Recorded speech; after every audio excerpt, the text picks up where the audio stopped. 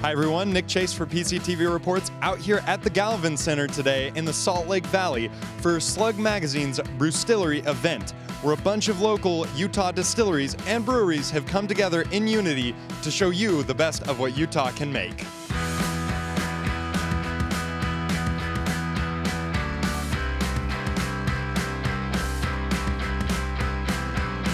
So I'm here now with Angela Brown, the executive editor of Slug Magazine. Thank you so much for having us out here, Angela.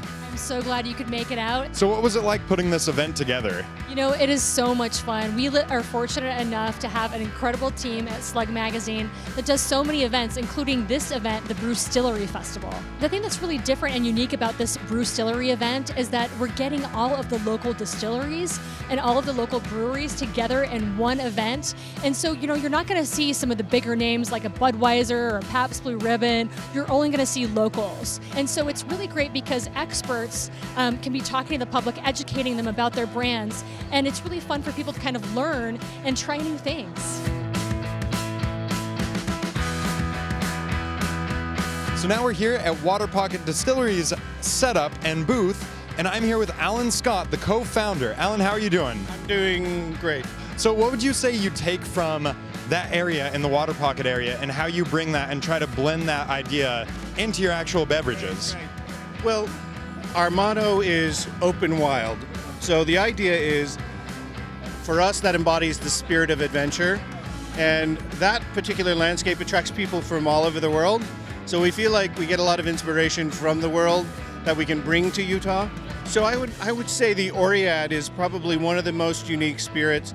And I think the Oread is just because it, it, it embodies a lost tradition of botanical spirits that goes back hundreds of years and that, you know, is almost in its very nature breaking the big homogenized industrial type of uh, spirit that you often see on the market.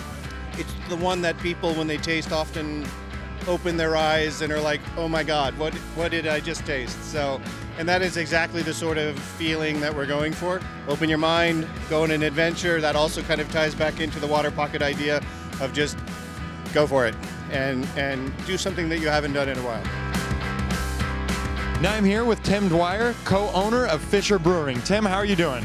Doing well. Fisher Brewery has just been one of those places that I wonder where I should go hang out at night. And it just it just works out. You guys are just one of the most happening places. What do you think has contributed to that?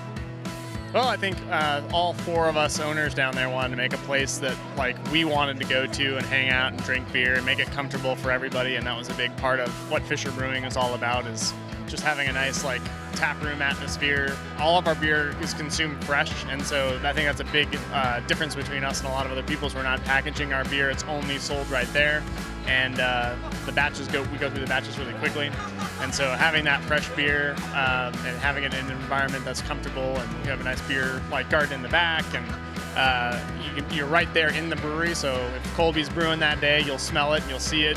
Um, so it's a pretty immersive experience too. That that whole like being in the brewery and experiencing the beer as it's being made is kind of a unique thing for Utah too.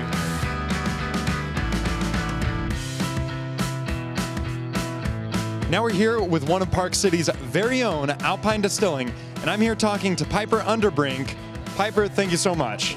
Of course, thanks for having me. What would you say is so special about the Park City location, and what do you think Alpine Distilling has to bring to the Salt Lake Valley?